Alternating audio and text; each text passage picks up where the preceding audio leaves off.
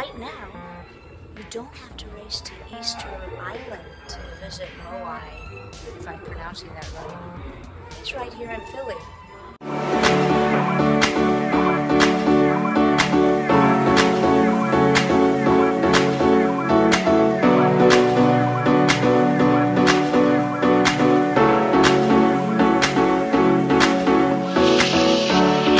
Bigger than the ocean